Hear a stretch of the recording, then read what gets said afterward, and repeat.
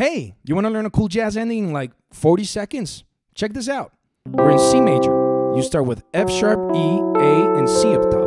You keep the C there and descend every other note. So F sharp minor 7 flat 5, F minor 7, E minor 7, E flat minor 7, D minor 7, then just a D down to D flat major, and then C major.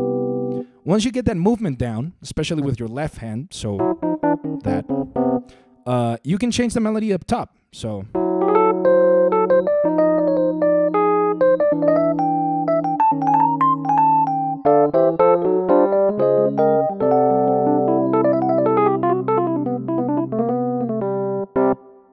Anyway, try it out or don't. I don't care.